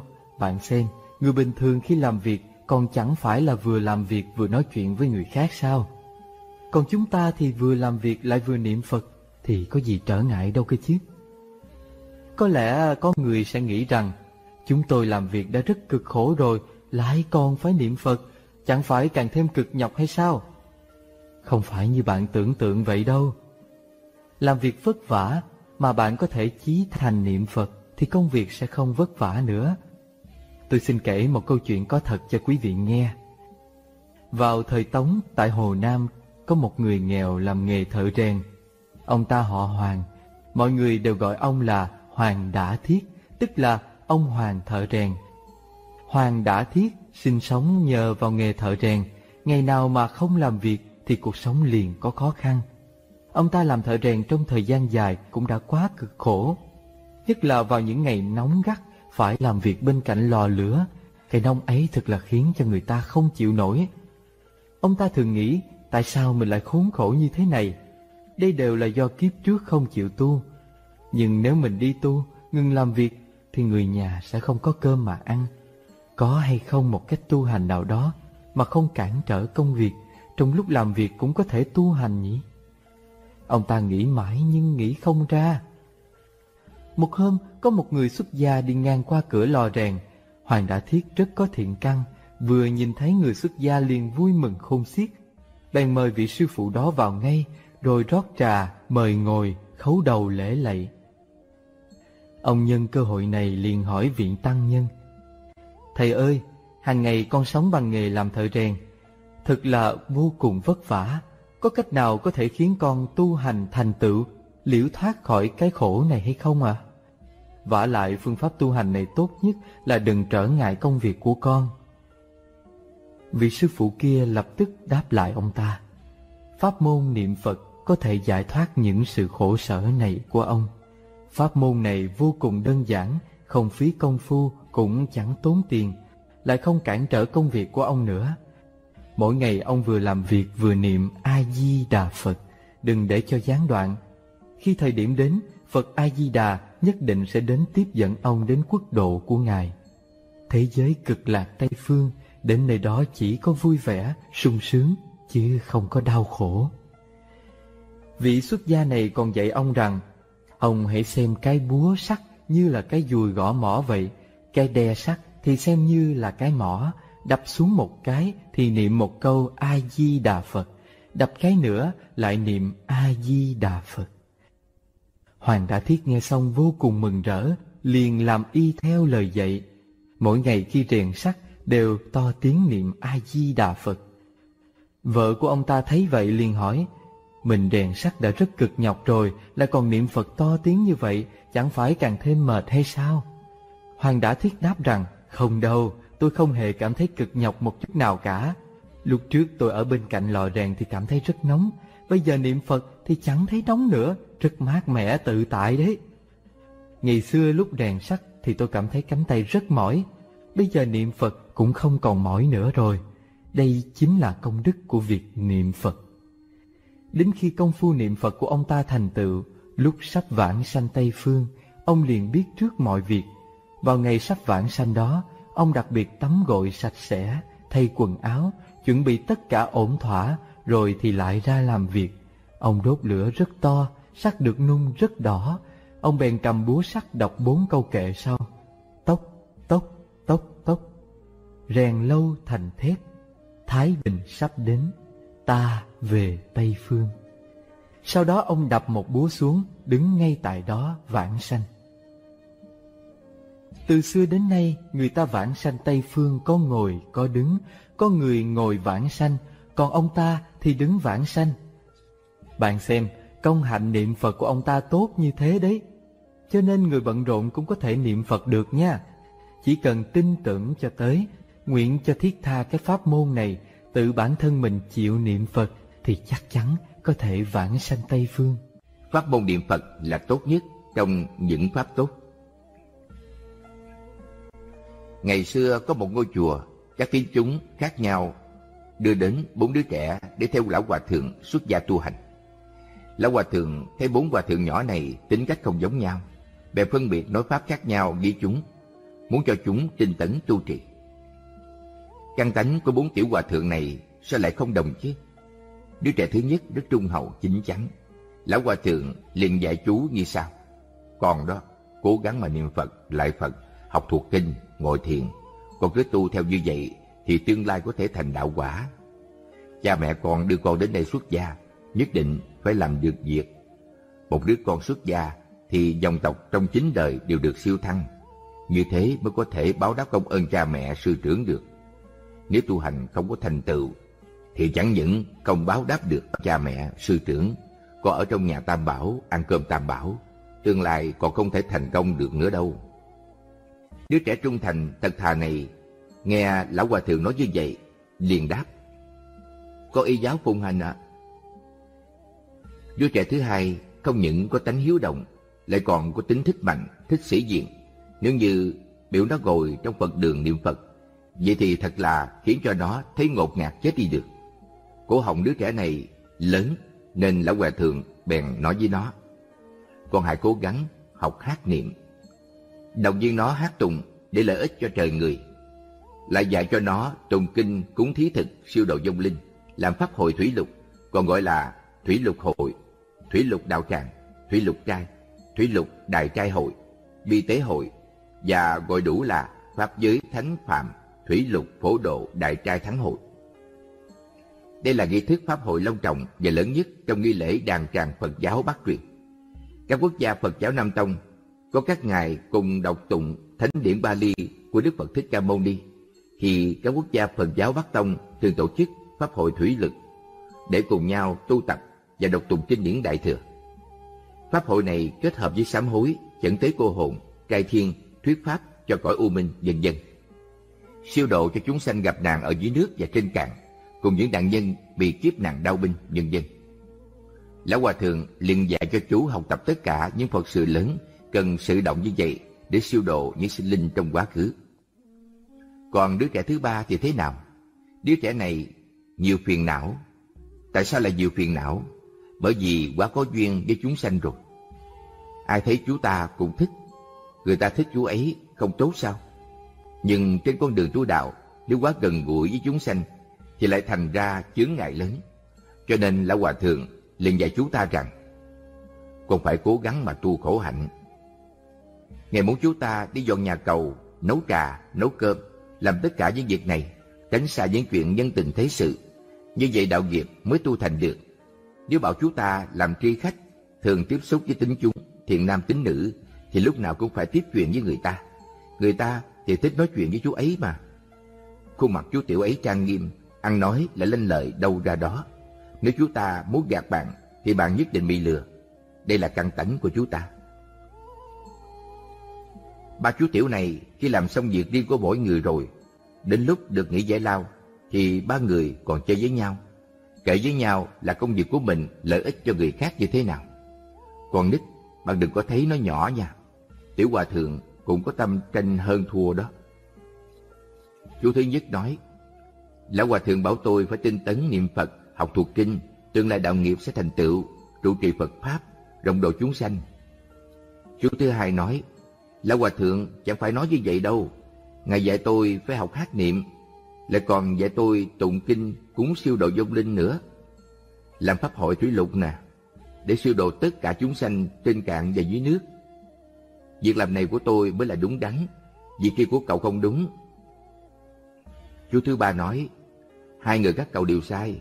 Lão Hòa Thượng dạy tôi phải cố gắng tu hành khổ hạnh, như vậy đạo nghiệp mới có thể thành tựu. Nói đến đó, ba chú Tiểu liền tranh luận với nhau.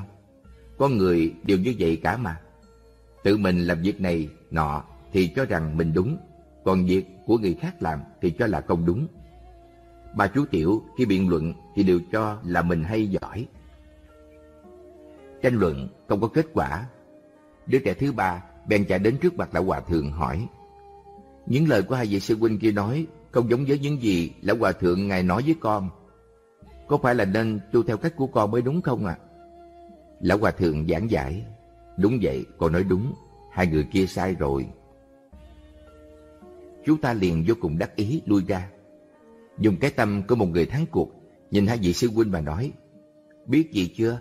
Lão hòa thượng nói tôi đúng, hai cậu đều sai rồi nghe hai cậu này nghe xong rất không phục. Đều cùng đến chỗ lão hòa thượng để hỏi thử xem thế nào. Lão hòa thượng an ủi mỗi người khác nhau và nói, các con, nó cũng đúng. Hai con đều đúng, nó sai. Việc này giống như bộ con nít gây lộn với nhau. Cha mẹ đều phải an ủi hai đứa con cùng lúc. Bèn nói với đứa em, anh trai con sai rồi, đợi một chút nữa cha mẹ sẽ mắng nó. Nhưng rồi cũng phải xoa dịu thằng anh một chút. Là em con nó không tốt làm anh với con mới tốt, là như vậy đó. Tiếp đến thì kể về đứa trẻ thứ tư.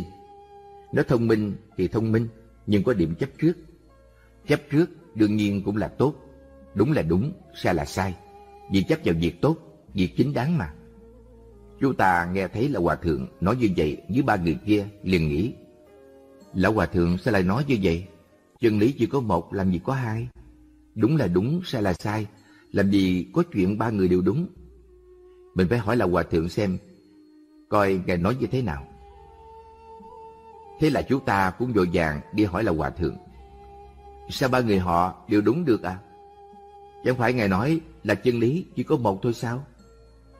Lão hòa thượng giảng giải, đúng thế, chân lý chỉ có một, còn nói đúng, ba người họ đều sai rồi. Người thế gian đều chỉ biết có mình đúng người khác đều sai. Chúng ta học phật pháp, thậm chí làm đến đại pháp sư cũng đều như vậy. Ông ta học pháp nào thì cho là pháp ấy tốt. Nếu ông ta tham thiền thì nói là tham thiền tốt. Nào là tham thiền cao như thế nào, như thế nào. Nào là trì chú thì giảng là trì chú hay. Đó là ngay thân này thành phật. Đương nhiên chúng ta niệm phật cũng đó là niệm phật tốt. Chẳng qua là tôi nói cho các vị biết, trì chú đương nhiên tốt tham thiền cũng tốt. Chúng ta niệm phật là tốt trong tốt, là tốt nhất. Cầu sanh tây phương là dí diệu nhất. Quý vị phải có tính tâm kiên định đó nghe. Có lẽ có người sẽ nghĩ, cái lão hòa thượng này tự bán tự khoe, tự khen pháp của mình hay, tốt. Ông niệm phật thì đương nhiên phải ca ngợi niệm phật tốt chứ sao? Kỳ thực, niệm phật không quyết định là tốt đến thế nào. Nhưng đức phật mà chúng ta niệm chắc chắn là tốt. Nói như thế nào đây? Chúng ta niệm là niệm phật a di đà không phải là niệm chư phật trong mười phương. Các vị phải nên biết, tuy rằng là phật phật đạo đồng với nhau, nhưng trong cái nhân nguyện lực của mỗi vị tôn phật thì khác nhau. Phật a di đà phát 48 nguyện lớn, nguyện nào cũng đều vì độ chúng sanh. Cho nên nói, trong mười phương ba đời, tất cả các đức phật thì phật a di đà là đứng đầu. Bạn xem, đức thế tôn thích ca thuyết kinh a di đà mười phương các đức phật khác đều cùng tán thán. Khi phật thích ca nói những pháp môn khác, thì các đức phật có cùng nhau tán thán ngợi khen hay không? Quý vị đi mà tra tìm trong đại tạng kinh xem có hay là không. Cho nên phải biết những điều này. Sao lại nói pháp môn niệm phật cao nhất không gì hơn? Vì là pháp thẳng tắc nhất mà. Niệm phật thành phật. Chúc mừng quý vị gặp được pháp cao diệu nhất, niệm phật thành phật. Lão hòa thượng thượng diệu hạ liên người sáng lập ra chùa linh nham sơn đài loan lão hòa thượng thượng diệu hạ liên sinh năm 1922 tại Trung Quốc. Mới 9 tuổi đã vào đạo, 20 tuổi nhận giới cụ túc tại chùa Long Sương, núi Bảo Hoa. Lão Hòa Thượng tiếp nhận sự huấn luyện chính quy tại chùa Linh Nham Sơn ở Tô Châu. Năm 28 tuổi, Ngài đóng cửa nhập thất tại Hồng Kông, âm thầm tu được thời gian lâu 20 năm. Trong thời gian đóng cửa tu hành, ngoài việc đọc kinh tạng và niệm Phật ra, đồng thời Ngài còn kiền thành tu luyện Pháp Bát Chu Tam Muội. Theo lời Hòa Thượng Thích Thiền Tâm trong Niệm Phật Thập Yếu, Bát Chu có nghĩa là Phật lập. Hành trì môn Tâm Muội này có ba quay lực phù trợ. Quay lực của Phật, quay lực của Pháp Tam Muội và quay lực công đức của người tu. Khi thực hành Bát Chu Tam Muội phải lấy 90 ngày là một định kỳ. Trong thời gian ấy, ngày đêm hành giả chỉ đứng hoặc đi, quán tưởng Đức Phật A Di Đà hiện thân đứng trên đỉnh đầu của mình. Đủ 32 tướng tốt, 80 vẻ đẹp. Hoặc miệng thường niệm danh hiệu Phật, tâm thường tưởng Phật không xen hở. Khi công phu thành tựu trong tam muội, hành giả sẽ thấy Đức Phật A Di Đà và chư Phật mười phương hiện ra đứng trước mình khuyến tấn khen ngợi. Bát Chu cũng gọi là thường hành đạo. Người tu khi đi, mỗi bước mỗi tiếng đều không rời danh hiệu Phật. Ba nghiệp thân, khẩu, ý, hành trì không gián đoạn như dòng nước chảy. Pháp này công đức rất cao, song chỉ bậc thượng căn mới tu trì được. Hàng người trung hạ và tinh lực yếu kém không thể thực hành nổi được 20 lần, mỗi lần là 90 ngày. Không ngồi, không nằm, đêm ngày chỉ có đi kinh hành và lại Phật không có gián đoạn, thể chứng được niệm Phật tam muội. Năm 1975, Lão Hòa Thượng vì đề xướng bộ sách luận Đại Trí Độ nên đến Đài Loan. Từ đó phát nguyện sáng lập đạo tràng chùa lớn, khiến cho đạo báo Đài Loan chuyển thành nước của Phật, lại còn phát dương truyền bá rộng ra khắp thế giới, biến thế giới này thành nơi quá độ của Phật. Do vậy, vào năm 1986, Ngài sáng lập ra chùa Linh Nham Sơn Đài Loan. Nơi đây trở thành ngôi chùa lớn trong mười phương, bồi dưỡng giáo dục tăng tài và quá độ đại chúng cùng đến tu hành. Lão Hòa Thượng giữ giới thanh tịnh nghiêm ngặt, cẩn thận, trọn đời dốc hết sức vào việc hoàng dương pháp môn tịnh độ, đồng thời nỗ lực nối tiếp kế thừa huệ mạng của tăng già Phật giáo không ngơi nghỉ. Ngày 25 tháng 6 năm 2008, Lão Hòa Thượng an lành thị tịch hưởng thọ 88 tuổi. Chúng ta tin sâu, đồng thời mong mỏi Lão Hòa Thượng sớm ngày theo nguyện quay trở lại, tiếp dẫn chúng sanh địa khổ được vui, cùng sanh lên nước sen cực lạc. Chỉ nguyện đại chúng cùng phát tâm Bồ đề vô thượng, kế thừa và gìn giữ nguyện lực của lão hòa thượng, quá độ nhân sĩ khắp nơi trong và ngoài Trung Hoa cùng lên bờ giác, sớm ngày viên thành quả Phật Bồ đề. Giới thiệu sơ lược về chùa Linh Nham Sơn Đài Loan. Chùa Linh Nham Sơn Đài Loan do lão hòa thượng Thượng Diệu Hạ Liên trụ trì khai sơn thành lập vào năm 1986 kế thừa truyền thống tốt đẹp của chùa Linh Nhâm Sơn ở Tô Châu Trung Quốc và tông phong của tổ sư Ấn Quang, là đạo tràng tịnh tông vô cùng nổi tiếng.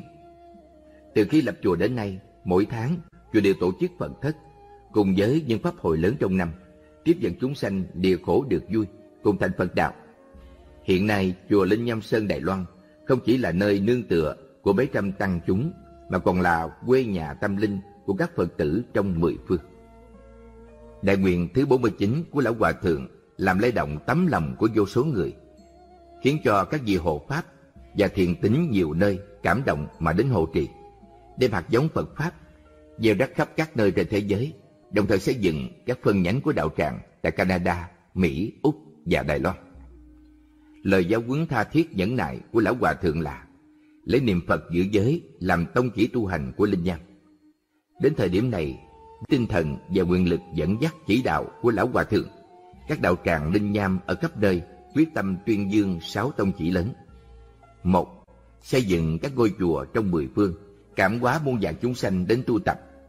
Hai, bồi dưỡng những cán bộ trong tăng già, kế tục huệ mạng chánh pháp.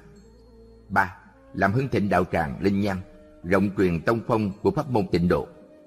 Bốn, thiết lập sự nghiệp từ thiện, lợi ích các chúng sanh hữu tình khổ nạn năm Độ cho toàn dân niệm Phật, khiến cho đảo báo Đài Loan trở thành nước của Phật. sáu Qua độ thế giới ta bà, làm cho trở thành tịnh độ ở thế gian. Đặc điểm thực tiễn của chùa Linh Nhâm và Sơn Đài Loan Chúng ta nhất thiết đừng bao giờ làm việc ác. Hãy niệm thánh hiệu A-di-đà Phật và giữ gìn giới luật. Chúng ta chỉ làm những việc tốt có lợi ích. Hãy niệm thánh hiệu A-di-đà Phật và giữ gìn giới luật. Tất cả những việc mà chúng ta làm phải đúng với lương tâm. Hơn nữa, hãy tìm ra được tính thực tiễn trong từng việc một. Chúng ta chân thành tụng niệm mỗi một câu thánh hiệu A Di Đà Phật thì có thể luôn giữ vững được chánh niệm của mình. Hồi hướng Nguyện đem công đức này trang nghiêm cõi Đức Phật, trên đền bốn ân nặng, dưới cứu khổ sáu đường, tất cả chúng pháp giới đều tu hạnh Bồ đề hết một báo thân này cùng sinh nước cực lạc. Lời khai thị của Lão Hòa Thượng thượng diệu hạ liên. Ở cõi tịnh độ Tây Phương, bạn sẽ không bị thối lui. Kiếp này cuối cùng đắc thành Phật đạo, chúng sanh hữu tình trong biển khổ mênh mông, chân thành phát nguyện, có cùng một mục tiêu, đời đời vì chính bản thân mình và vì người khác mà đạt đến quả Bồ đề. Trung tâm Diệu Pháp Âm, địa chỉ Chùa Khuôn Diệt, 1355 Hoàng Sa. Địa chỉ cũ 318 trên 119 Phạm Văn 2, phường 5, quận Tân Bình, thành phố Hồ Chí Minh. Điện thoại 083 993 4238. Website diệu pháp âm.net hoặc dba.tv.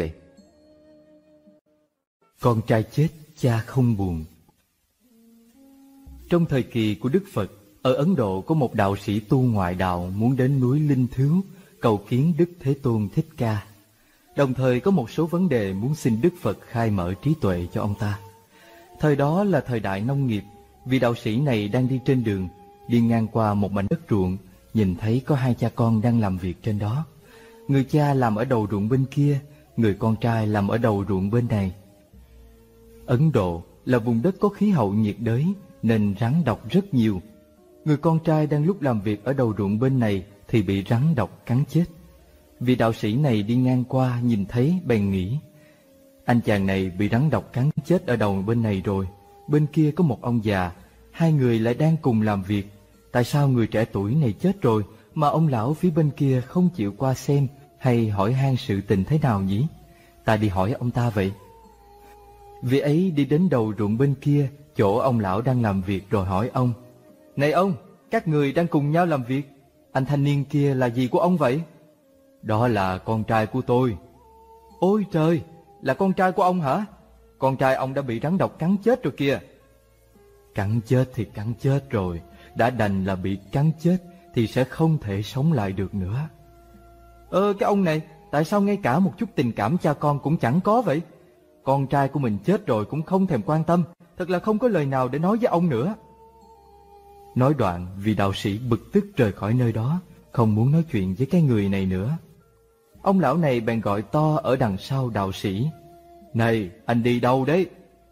Tôi muốn đến núi Linh Thứ để xin gặp Đức Phật. Nếu anh muốn đến núi Linh Thứ, nhân tiện nhờ anh khi đi ngang qua cửa nhà tôi, thì bảo giúp với vợ tôi là buổi trưa chỉ cần đem cơm cho một người thôi là đủ rồi. Đừng có mang hai phần cơm làm chi, vì con trai tôi đã chết rồi. Đạo sĩ nghe xong cảm thấy rất băn khoăn bực dọc, gằn giọng nói. Đợi chút nữa tôi đi ngang qua cửa nhà ông, tôi muốn đến coi cái bà vợ của nhà ông làm mẹ như thế nào. Đến nhà ông lão rồi, gặp một người đàn bà, vì đạo sĩ liền báo với bà ta. Chồng và con trai của bà lúc làm việc ở trên đồng á, con bà đã bị rắn độc cắn chết rồi. Chồng bà bảo bà buổi trưa đem cơm ra đó thì chỉ cần đem một phần cơm cho một người là đủ. Bà ta vừa nghe xong liền đáp một tiếng. Ô! Đạo sĩ kia cảm thấy thật là quái lạ, bèn nói tiếp. Hả? Đấy là con trai của bà mà. Con trai bà chết mất rồi, bị rắn độc cắn chết rồi kìa. Bị rắn độc cắn chết thì cũng đã chết rồi. Nếu nó muốn ra đi thì cứ đi thôi. Tôi có muốn giữ lại cũng chẳng được. Mà nếu nó có muốn đến rồi thì tôi cũng chẳng thể nào ngăn nó đừng có đến. Đạo sĩ nghĩ bụng. Trời ơi, cái bà này cũng không có một chút tình người gì hết. Lúc này, có một cô gái trẻ từ trong nhà đi ra. Ông ta nghĩ cô gái trẻ này chắc chắn là con dâu của bà kia, liền báo cho cô biết. Cái anh thanh niên mới chết kia có phải là chồng cô không? Đúng vậy. Anh ta bị rắn độc cắn chết rồi. Ô, cắn chết rồi hả? Cắn chết rồi cũng hay. Chết rồi thì anh ấy có thể ra đi được rồi. Người tu hành này tự nhủ thầm. Cái vùng đất này chính là khu vực giáo hóa của Phật Đà cơ đấy. Vì cớ gì mà cả nhà họ đều không có một chút xíu tình người nào cả vậy? Ta càng phải đến núi Linh Thứ hỏi Đức Phật cho ra nhẽ. Đây là thứ đạo lý gì vậy? Đức Phật không chỉ có túc mạng thông, nghĩa là khả năng biết được những việc làm thiện hay ác đã tạo tác trong kiếp trước của người khác, mà còn có tha tâm thông, khả năng biết được suy nghĩ trong lòng của người khác, cho dù người đó chưa thổ lộ với ai. Biết được người này tuy là tu đạo, nhưng cái pháp về tình người vẫn còn chưa nhìn thấu được, không thể nào nói pháp duyên sanh, duyên diệt cho ông ta được. Vì nói như vậy, ông ta sẽ thấy phản cảm.